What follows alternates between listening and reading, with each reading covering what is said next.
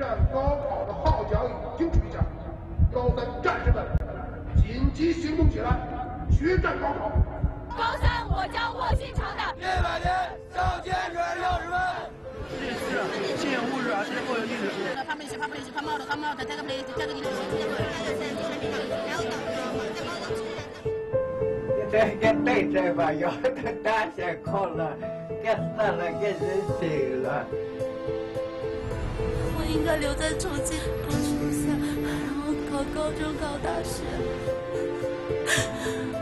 我当时是不是选错了？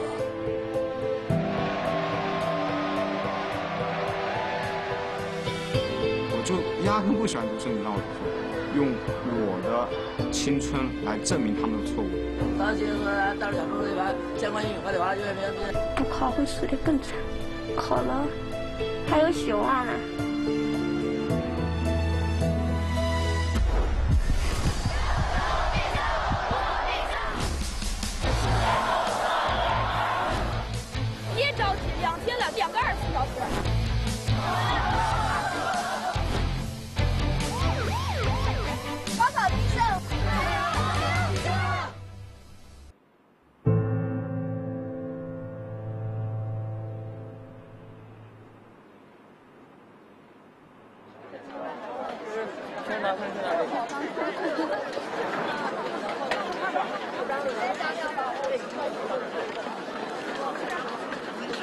两侧的完全站好，啊，一侧两个开战。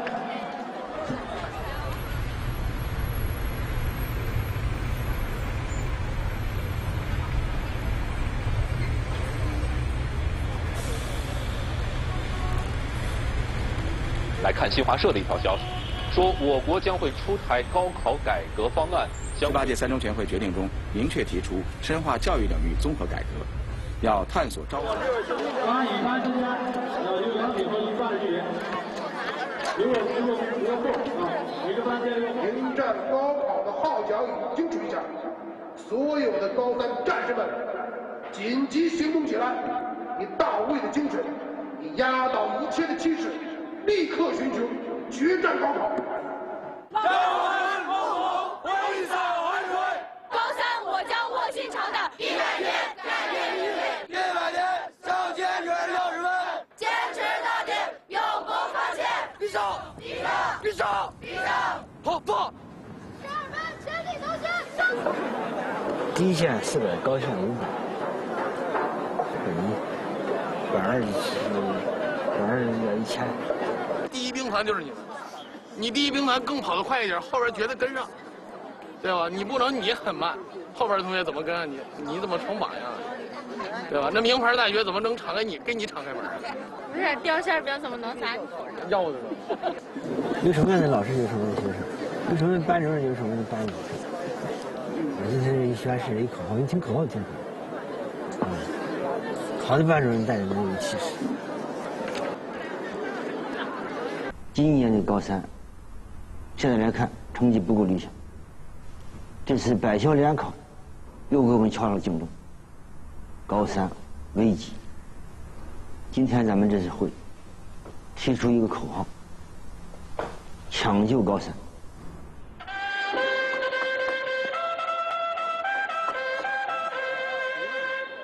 现在的很多的孩子，特别是最近这些年，沉迷于网络虚拟的世界里，什么国家的未来、民族的前途，没人去考虑这些，不懂得什么叫刻苦，不像当年的那种热血青年。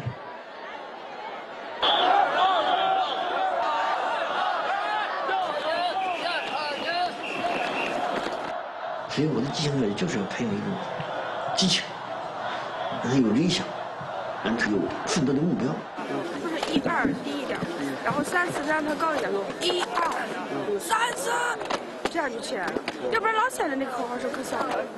闷不烂的，中度，吹学呼叫的，必须不提上来也能够。所以领一响一块儿响，领一响一块儿响，集体生活不能互相干扰。把人集体的这种氛围来激发他们的激情。你看他，现在高三的应应届的学生，你看到没有？应届的学生基本上现在六点零四，到全了，你这午安休你再不保证好，上课了困了，你做检查，还不如孙强呢。院长啊，今天晚上不是数学联排啊？啊，他是找了一套卷找了一套卷是是这个这个这个衡水那边。我直接从七点零五干到九点零五，直接把这套卷做一下。语文组小聪这是什么情况？从出题机制这一块，他总好自己去找，没有发动和利用组员。自己找可以，但是必须每个人都去提供，他不能养懒了吧？对对，你你讲的，我感觉还是背后组长没理解到什么呀？他没理解到，他认为组员只是找好题呢，其实还没理解到，你还得保证你的组员每天多做点题啊。他他可能这层意思没理解到，这个举措的啊。我就我这人呢越想越懒，啊对，越干越有劲儿。这你我操！再一个，你看到小宋那个劲头，啊，他那工作状态，那你想好了，他自己找。你张小松弄得这行。我学校的老师确实，啊，他们是有这个工作压力，哪个地方没压力？美国的学校没压力吗？那北漂没压力吗？在北京打拼的那些年轻人，他们的压力更大，舒舒服服，实现不了竞争。现在对你们高三重视了。嗯。他们李校长有指导思想啊。会议说之前啊，沟通一下，是吧？像那个，尤其是，我觉得小聪这样，就是我我知道你也不说他，你要是再说他，小聪也就崩了。这个人都是有个极限的。因为我不说他。高三的任务就是本一过五百，本二过一千。这一周班主任的工作节奏明显又提升了很大一层。李金池校长来京中学之前是三千多人，截止到今天，呃，京中学现在是师生八千多人，呃，数量上净增了五千人。三年之前，我们是石家庄市的四流学校，招收普通高中不要的学生，上不了的学生。现在我们只招收石家庄市内前五千名的学生，哎，那么这都得益于李金池校长到任之后，在石家庄金中学开展的激情教育、高效课堂、精细管理三箭齐发的教学理念的指导下。呃，请咱们各位参观老师在原地不动就可以了。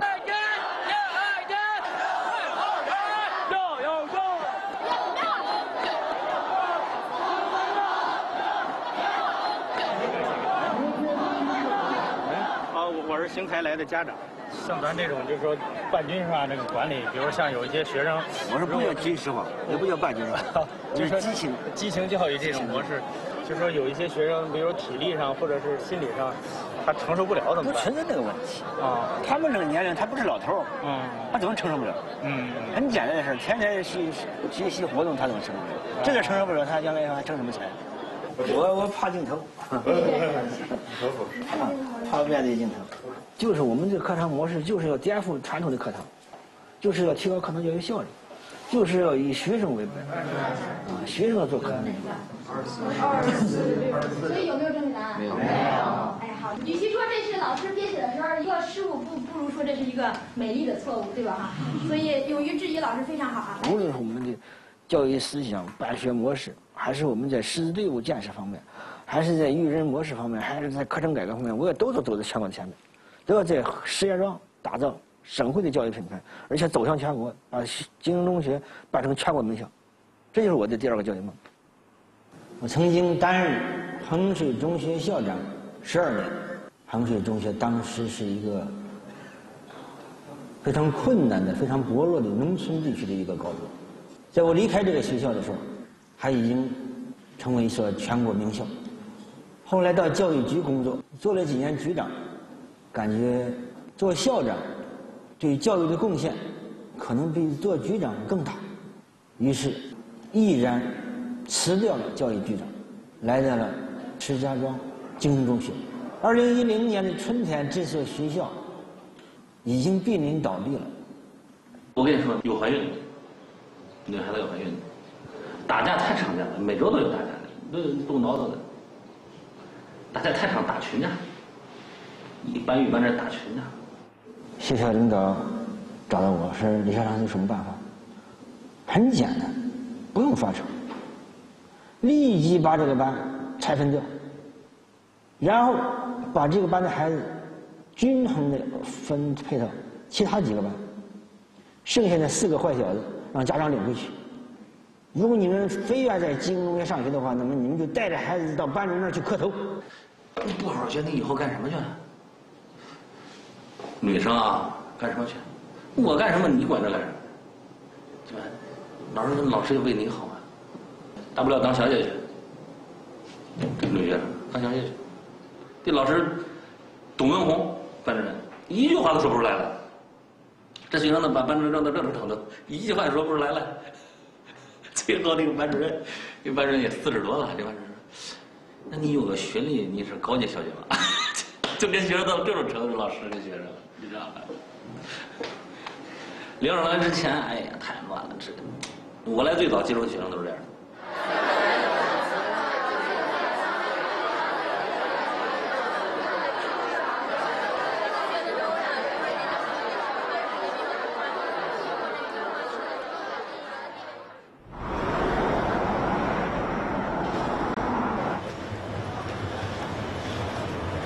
在做一个高中试验班，呃，尝试一个全新的一个教育一个模式。我们做了大概会两年的时间了。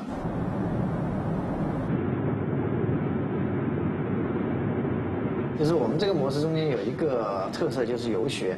我们这个高中试验班当时创办的时候，就是在江苏的一个乡村，我们在那里就待了半年，学生和老师就在那里学习生活，参与所有的跟当地社区的结合。哦，它里面有活动室，哇，还有乒乓球的。对呀，嗯。那现在我们的这个教育的试验的基地是在广州，跟广州的一所学校合作。但我们这个游学是每年都会要进行，所以我这次本来是在找一个新的游学的地点，然后听梁老师在隆重的推荐裴田村，他说你来了绝对不会后悔。因为游学不仅仅说是简单的换一个地方来学习嘛，我们看到的是它背后的所谓的跨文化沟通能力。你跟不同的社群、跟不同的人群去打交道，体验世界的丰富性，来帮助他理解这个世界的复杂性。啊，在这个认识世界过程中间，你开始逐步逐步认识自己，最后也找到自己在这个世界中的位置。这里面还有学生才曾经在这里上过学吗？我是在这边毕业的。哦，就是在原来的学校就设在书院里面。对 对。哎，过去我们这个书院五百多年是没有中断的。对。那就是住在陈栋家里面呢，还是说学校里面呢？学校里面还有地方住吗？呃，那就看他们呃要什么样的生活条件。我们是最简单的生活条件，只要他有能够做成像旅馆那样对，嗯，我们打地铺那些都可以的，只要他有地方。哦，那那这个就好解决了。对。啊，简单是吧？但是现在城里的学生，我们都好像普遍比较娇贵啊。呃，是是感觉。我们有好校长在吗？没问题，你放心。我们主要中国人现在独生子女缺的是精神，缺的是实践。对。所以我们这一代人物质不缺，对，缺的精神。对。那如果如如果从这样抓起，那我们就更有意义了。对。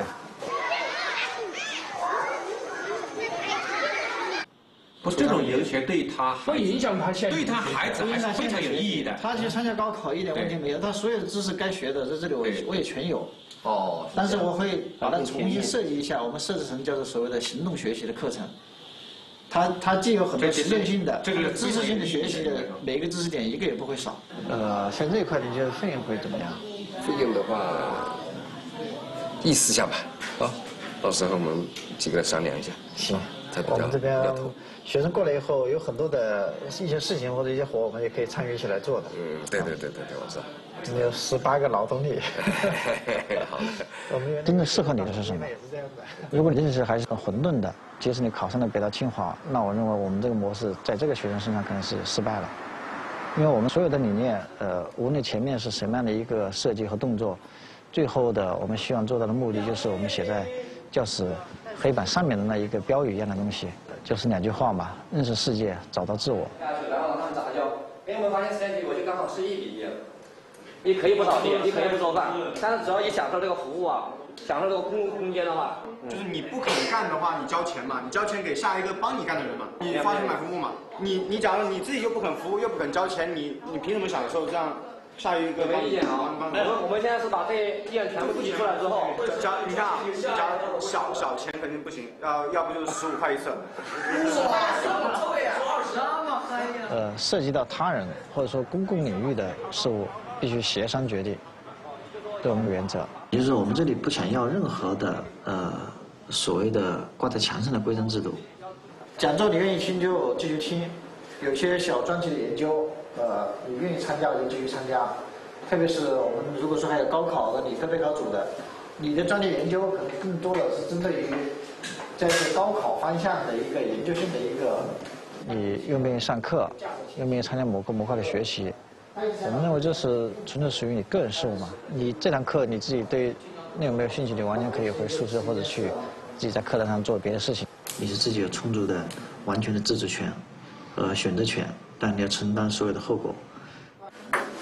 一一吧，二二一了，二一三个，三听累积吧，一。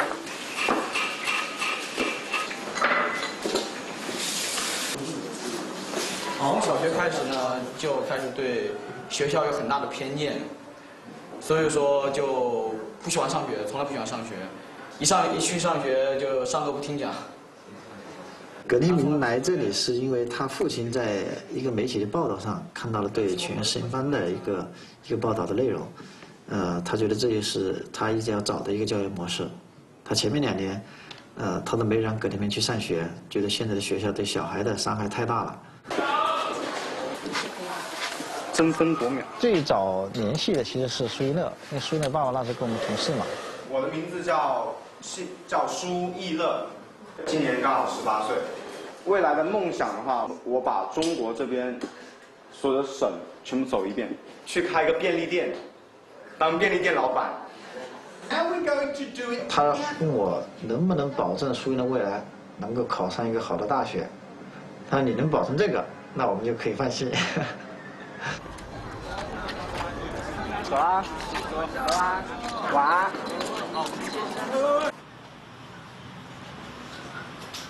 嗯嗯嗯。走。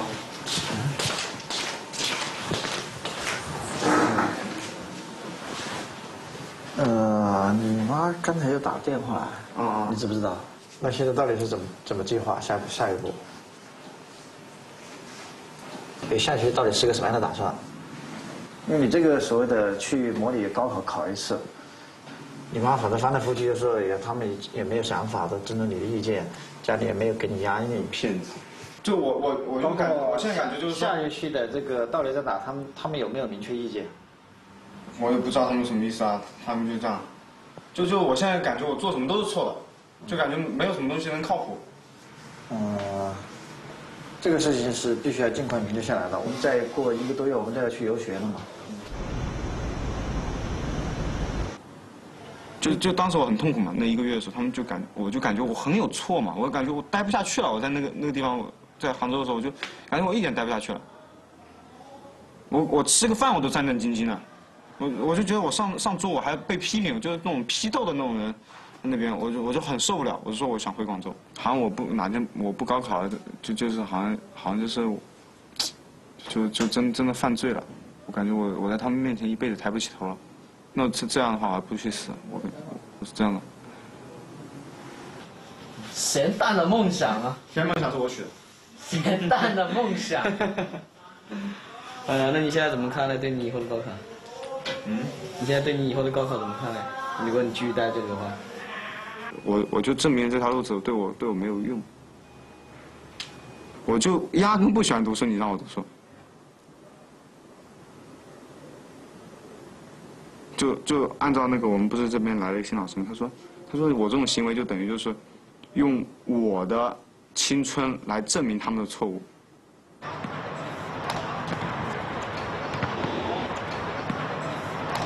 高考啊，我这个顺序你就这个每个人自己来调了，就是数学和物理的高度结合，甚至数学占的占的比重还不低呢，是吧？因为要给家里有个交代，要争取一个继续留在这里的机会。这两个就是。那我们这里又没有平时的成绩单，那他说只能用，那我来参加高考来试一下看，高考的分数那是一个客观的一个东西嘛。Yes, this is my book.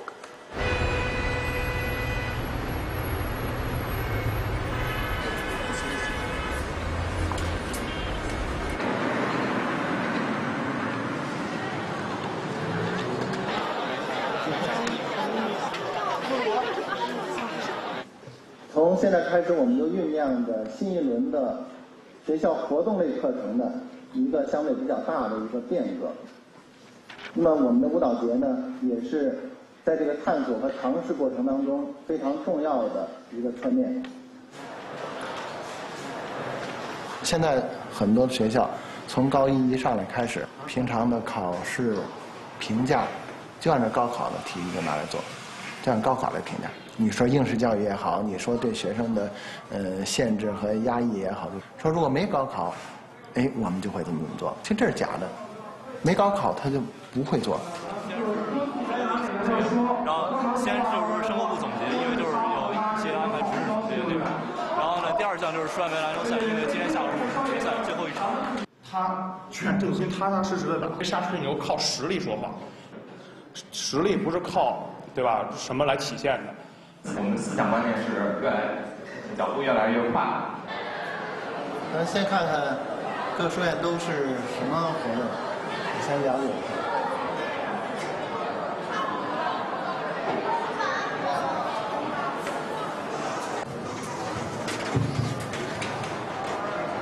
登记什么的是什么？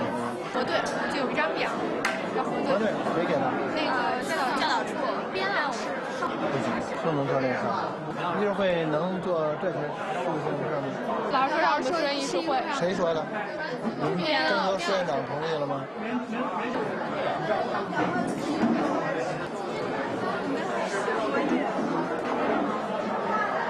教导处的那个那个安排的那个几个学生问我啊，说能不能在议事会上来做这个，呃，会考信息报名的那个核查事情，然后说校长已经来过了，啊，说不行。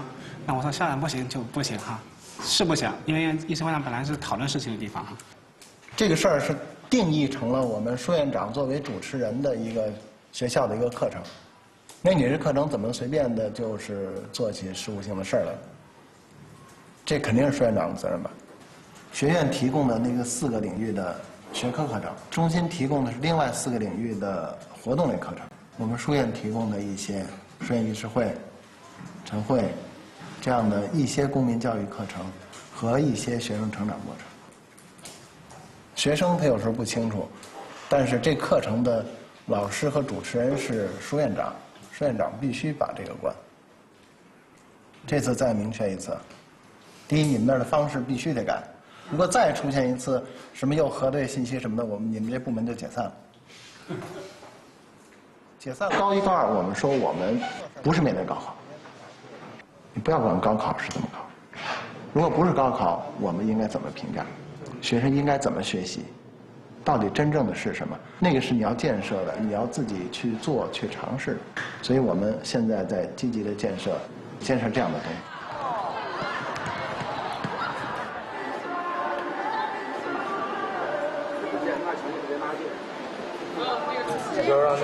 先去南楼等会儿。南楼里边。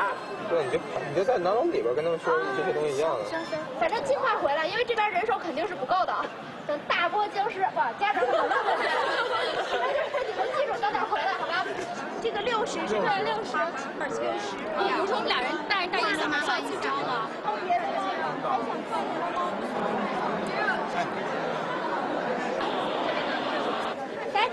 家长请跟着我们。这个这波的家长请跟我们走。我呢是来自高二的刘亦威，也是今天的一个志愿者。哎，那同学，我想问一下，你那个走班制是怎么怎么个？呃，走班制是吗？对，走班制呢，其实是针对高中部的。对高中部的高一、高二的学生，他们在入学的时候会被分到不同的呃一个书院。这个书院呢，就是他们将今后两年一个学习生活的地方。在每个书院里面呢，他们可以针对自己喜欢的课程、喜欢的老师进行选择，没有固定的班级，但是书院是一个固定的一个总和。北大附中高考分数线最高的时候是在非典的时候，这就说明北大附中就是它的特点在于，呃，这都太俗了，这说的都太俗了。最高分就是北大附中的特点，这个学学习能力最强在于自主学习。开始他们的学习生活都是由学长团，我们的学长来带领他们，也就是说，学长团的成员是由高二同学组成的。然后再比如说高一，他们新入学、军训一些各种各样的困惑，都是由学长团的同学来帮助他们。从他们一进到学校，首先见到的人就是我们。说高一高二的时候是资本主义社会，到了高三又回到了封建时期。因为各大赛事的参与的话，其实是没有机会参与的。高三基本隐形了，因为高三跟高一高二是两个世界。到了高三之后就就被封闭到了五层和六层。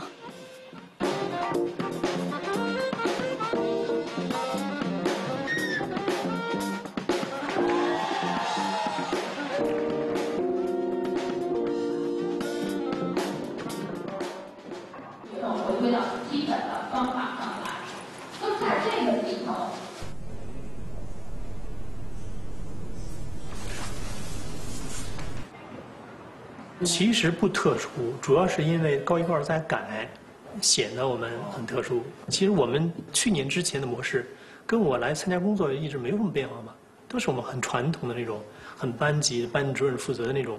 高三你也别害怕别人说你是应试，就高考，就是没当成真正的学习。真正学习要凭兴趣啊，要发现啊、不是固定的东西。他这就是死的，标准答案就是这个。我要跟学生讲呢，我就是说，它更像是一个游戏。人家定了一个规则，咱们有输赢，你玩还是不玩？你玩就按这规则来玩，不能按你的想法去玩。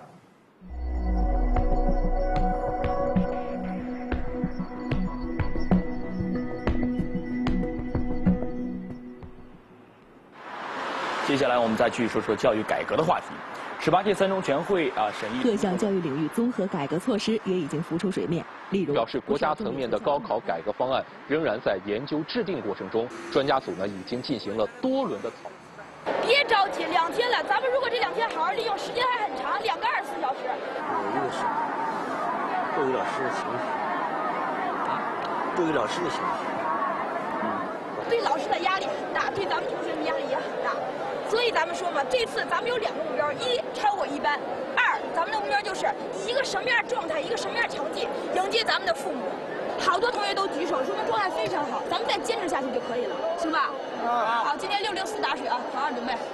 为父母，为父母，为自己，别让。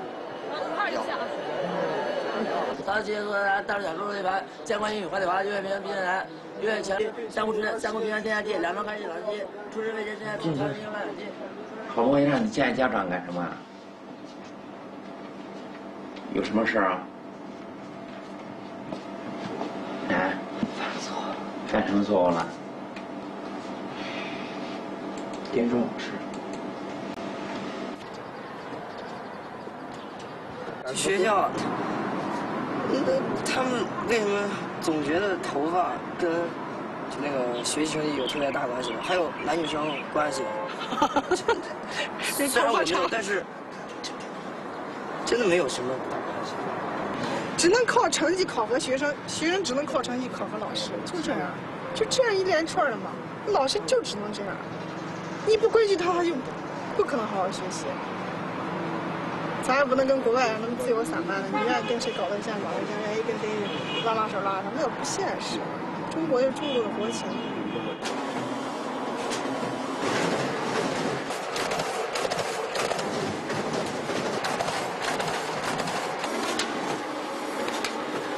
你要弄基础，这这个在河北省这块的成为这个真理，本因数就是真理。他不相信你这是，你比如咱们说理论上搞课改的，在这考课，六加一课堂怎么？你宣传这个，你给老百姓宣传等于没宣传。你给教育行业的人讲，他能理解，哎，这儿有利于孩子成绩提高。但是有多少人是从事教育行业的，对吧？你到政府官员他都不知道，他也不懂教育，他只看你的高考数，只看你的本息数。老百姓送上你这个学来，就是希望他能上大学，上好大学。吃葡萄葡萄说葡萄酸，你们谁就是要？你们光是分分分，你们光追高考升学率，那个学校不追率追什么？现在我的这个激情教育，现在我的高校六加一课堂，我就是按照素质教育的这些理念来推进的。我素质教育更能提高成绩率。这事办的人辛苦，呃，在这个青春里面的安排。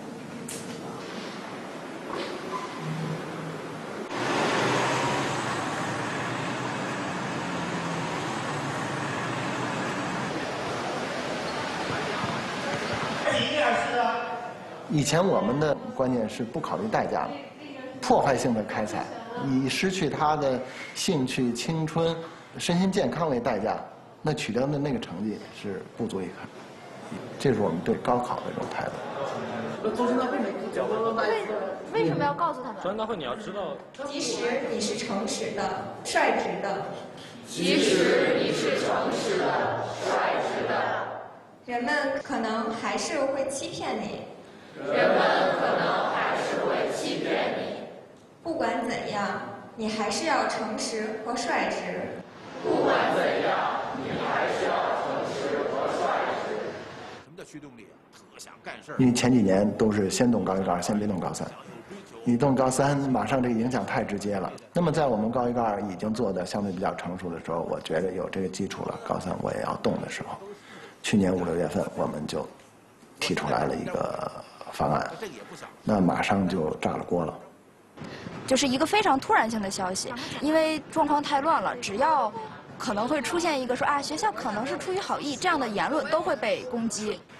第一个就取消班主任嘛，所以呢，家长在这一点上是尤其的不干。嗯，传统的那种备考方式最大的不同就在于，就是给学生很大的自主学习的空间。所以我们的桌子校长说你，你可以。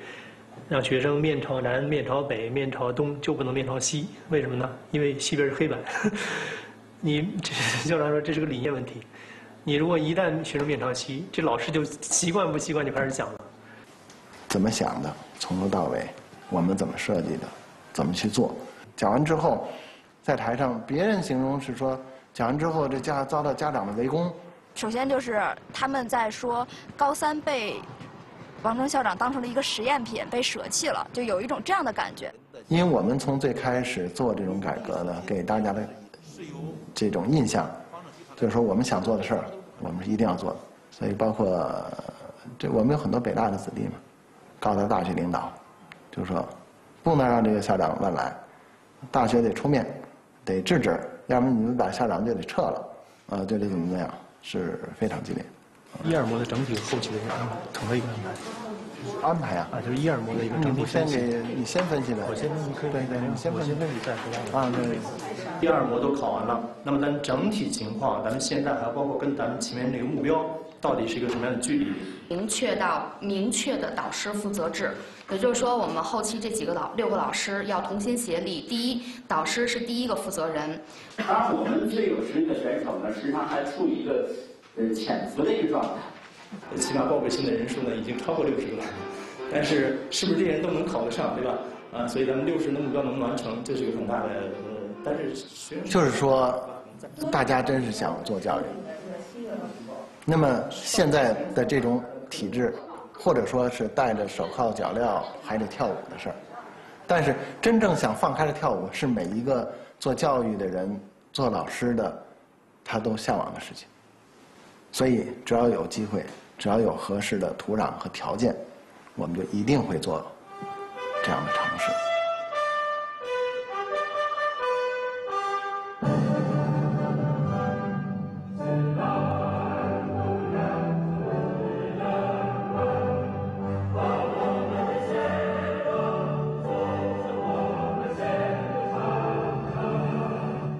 今天会有这样的一个活动，其实直接起因是因为我们有一些老师，嗯，对于学长团此刻的运转，认为他们是无所作为的。你不能够让学校说，哎，这有一些接待任务，你来完成吧，这没有意义。我们学长团会作为一个引导者的角色，教会高一的学弟学妹如何去参与议事会，如何去参与讨论。这是王峥校长刚接手学校的时候，他干的第一件事就是办了一个学长团。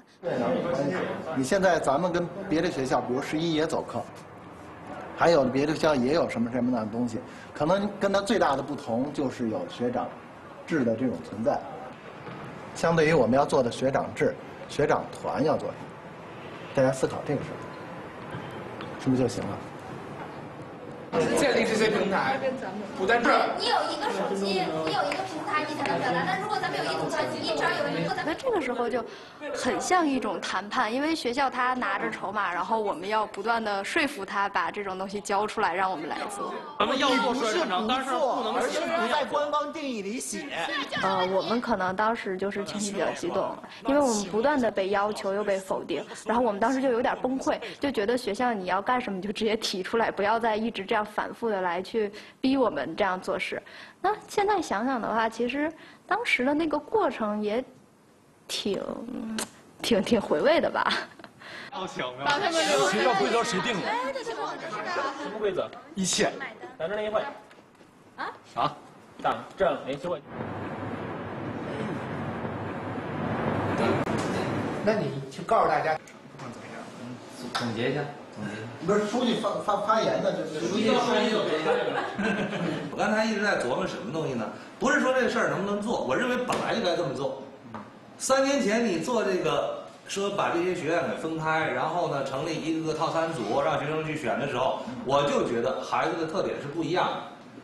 我不管你培养目标是什么，你培养目标可以，我也同意，它不是高考的这个唯一目标，但是谁对你这个目标负责？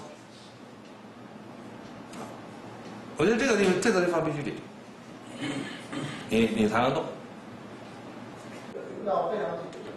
其实我们拿高考的学生去做这样真正教育的尝试，到时候他要转过来高考，高考又不能差。那个你就那么做，可能别人能看到结果；这个你还不太会做，你做完了费了很多劲，可能别人并不觉得你这样好。我们做前面的教改，一是说对高考的问题，就真正做这事情本身压力也还是挺大的，要要做很多的这种探索。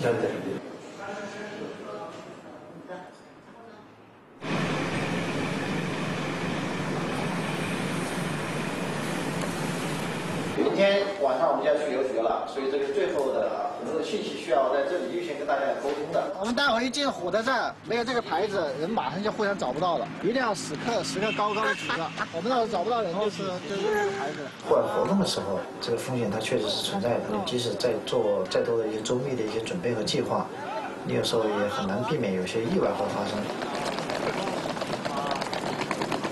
从广州出发是经过东莞东到惠州、河源、梅州到龙岩，火车只能到这里了。如果说真要出了什么意外的事情，那你没有任何能替看了。那这一点是考虑过的。我觉得在目前这个阶段，你有没有更多的选择，只能自己来背着。但是我们真正要去的地方，培训村是在这里，我们还要再转两道汽车，才能够到达这个村里面来。你还没看过车子怎么弄？不是看不看？你只有七个座位啊，你那意味着有的座位七个座位的委婉，那空间就很大的呀，你要知道。我们的可以上车的地方是很多的，主要的高考组教育是在一个最好的一个舞台平台的一个高考组。凡是想在这一块能够做出点事情的，他必须要有这个担当。上一周去了上海的时候，就他们马上要把学生带到东华那里去嘛。如果你正式去申请教育，肯定不会批准。他说：“那他自己校长自己做决定，我就带着学生出去了。”他说：“我出去的时候我就做好准备，回来有可能我就是手上戴手铐回来。”但是他觉得这个事情对学生有价值，那我校长就愿意担这个风险去做。这个实际上就是跟我这个想法差不多的。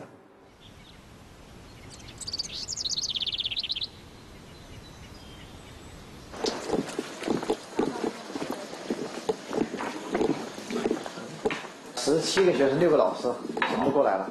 走走走。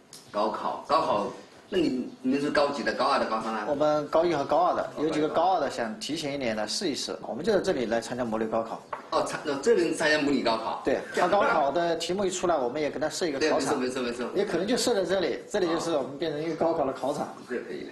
呃，是不是这一个信号？红云，我这里查到有一个。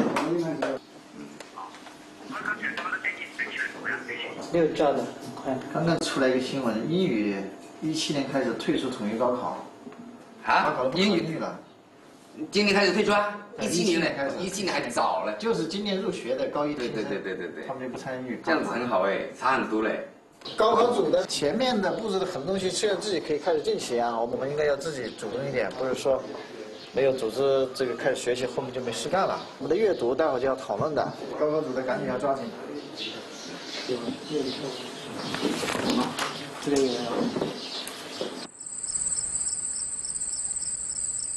要你们，要正确，要坚定，要拼命，要办到，要准则，给我们壮怀激烈，坚强敢为，让我们一起光芒，一起闪亮，有爱。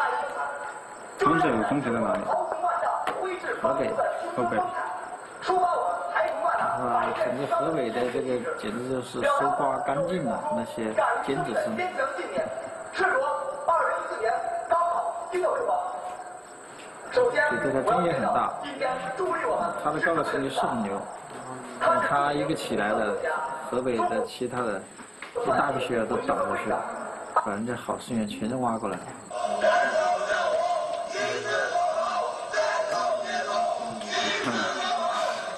了。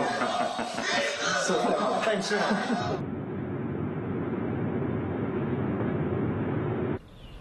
实际上，从二零零零年衡水中学的高考成绩，重点大学上下人数在河北省已经占据第一位。嗯，当时我记得是当时是七百五十几个人，这个数当时在整个河北省所有中学里边，那是最高的，就重点大学上下人数。二零零零年、二零零一年、二零零二年，报纸出来。我当校长以后干的第一个事儿，你这你这知道？对，那时候抓流氓、抓小偷，对，啊，蹲科，晚上一宿不睡觉。这个我最有感触了。晚上我们拿着棍子巡巡夜，巡夜蹲科，一蹲一晚上，到蹲到第二天早晨起，这个学生起床以后，哎，这边车又换一波。那时候天头天晚上屋里干多晚，第二天早上照样跟着跑操。真是，领导干部就是那样，真的非常不容易。这就是我当校长时候的校门。那是那破烂不堪。我当校长当校长的时候就知道呀。嗯，当时就认为这是教育的神话，啊，这是个教育的神话。一个农村地区薄弱高中，不到十年的时间里边快速的崛起，那本身它确实是个神话。让每个孩子都有志向，淡泊也宁静。全国的激情跑操，都是从衡中跑，这学过去。都是从九十年代咱们开始形成。要的一种激情，我我们那个五个理念呢，就是把校园建设激情燃烧的乐园。就从这篇报道一下子爆炸性，各地的教育局的发文字写衡水，是因为衡水中学衡水出了名，都想把教育这一块做大做强。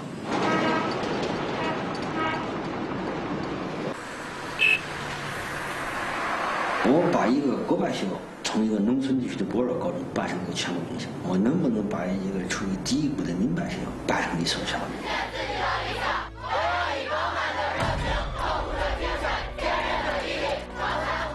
为什么一个快要倒闭的学校，我要按我的想法改变一个学校，去改造一个学校，去为中国就是教育趟上的路的。你们认可不认可？但是我要会走上一路的。二零一四年全国高考今天拉开帷幕，各地采取。今年全国报考人数为九百三十九万人，较上一年增加二十七万人，高考人数连续五年下降。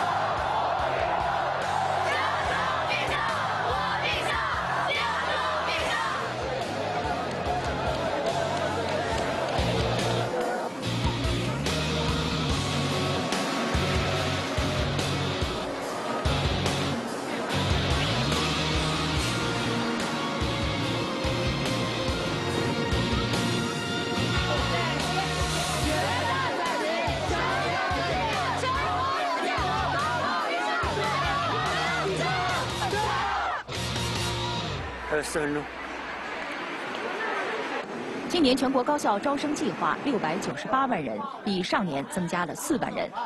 为保证高考平稳有序，各地普遍在。哇，男朋友知道吗？哦。来，我这几点题准备了。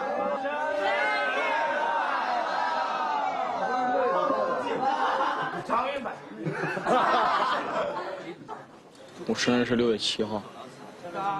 这是我们第一次比较重大的一次考试了。虽然我们是模拟考，但是也是对我们检验。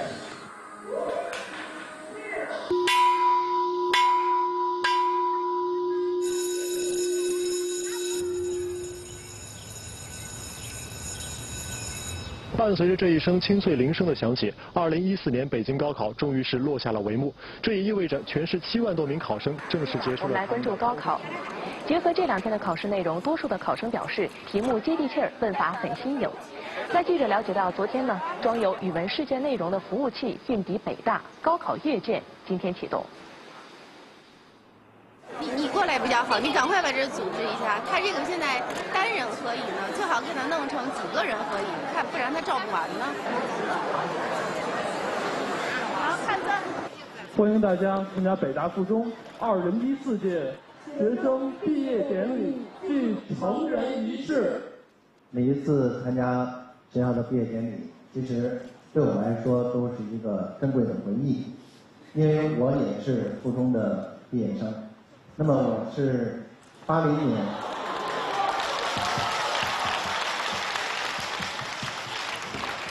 啊，这个是入学的通知书。是在一九八零年的七月三十号。那么附中这些年一直在进行不断的改革和发展。呃，习总书记有一句话说：“改革没有完成时，只有进行时。”我想北大附中是注重传承的。它从一代一代的发展到今后不断的变化，我想改革还是会是它的主线。那么就是这个社会它的需求是多样的。一定有一部分家长，他哪怕说我不让孩子考那么高的分但是我希望他健康成长。有没有这样的学校？哪怕他是少数，哪怕是小众，他需要这样的学校。所以，我一直认为，一种多样化、一种多元的，是这社会发展的一个解决社会发展问题的一个地方。我也期待，我也相信，走出附中以后。他们会有自己美好的未来。好，谢谢大家。谢谢大家。我是中华人民共和国公民，我遵守宪法和法律，正确行使公民权利，积极履行公民义务。像每天早上六点起来背书，然后一直学习，然后中午的话可能会睡个觉，然后下午继续学，学到晚上的时候。我从高一的时候就是这样想象我的高三生活，那后来又改革，然后又说上大课什么的，然后就。有点变化，因为从高一的时候我就觉得我的概念一直在不停的变化，如果一直不变的话，或许我对它就会丧失一定的信心。它变化意味着未知，或许它能创造更多的财富。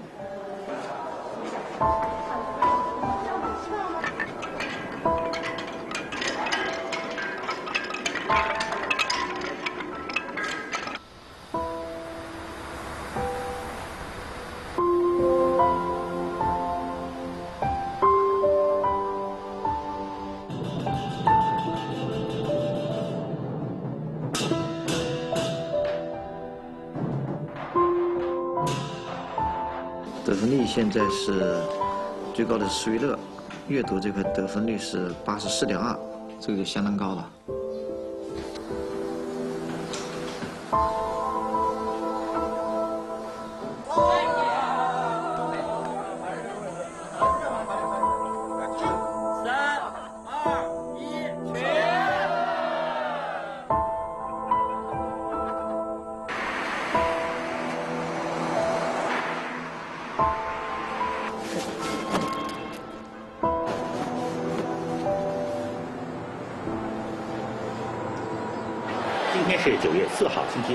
家关于考试招生制度改革的实施意见今天正式发布。